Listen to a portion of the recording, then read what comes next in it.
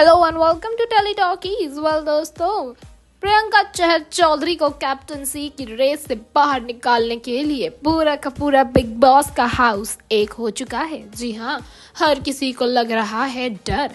अगर प्रियंका बन गई कैप्टन तो उनके वजूद का क्या होगा? प्रियंका को कैप्टनसी की रेस से बाहर निकालने के लिए आधे से ज़्यादा घर एक हो चुका है जहाँ एक तरफ़ गौरी नगोरी को अंकित गुप्ता से चोट लग गई तो वहीं दूसरी तरफ़ अंकित गुप्ता ने टीना दत्ता को भी हर्ट कर दिया। वेल well, वहीं अर्चना ये कहती हुई नज़र आई कि वुमेन कार्ड खेलना तो कोई इन लोगों से सीखे, बस लड़कियों वाला कार्ड खेल लेंगी। गेम इनसे खेला नहीं जाता। जी हाँ कैप्टनसी की रेस में काफ़ी दिलचस्प मोड़ आ रहे हैं। क्या कुछ होगा आने वाले एपिसोड में खास बताएँगे आपको सब कुछ पूरे विस्तार से। लेकिन उससे पहले चैनल को आप ज़रूर सब्सक्राइब करें, बेल आइकन को दबाना आप ना भूलें। वेल दोस्तों बिग बॉस की अपकमिंग प्रोमो से एक्सक्लूसिव इन्फॉर्मेशन आपको रेस टू कैप्टनसी की हम बता रहे हैं। बिग बॉस के घर में रिसेंटली टास्क होने वाला है कैप्टनसी के लिए, जिसमें प्रियंका चहर चौधरी पार्टिसिपेट करने वाली है।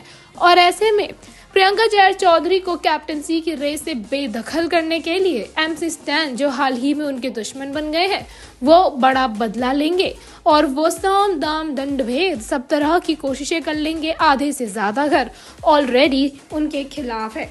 सब लोग एकजुट हो जाएँगे, यहाँ पे प्रियंका को हराने के लिए। तो वहीं दूसरी तरफ़ अंकित गुप्ता, जो उनका इकलौता सबसे बड़ा सहारा है, अर्चना के साथ। ये दोनों जी तोड़ कोशिश कर रहे हैं प्रियंका चेहर चौधरी को जिताने की।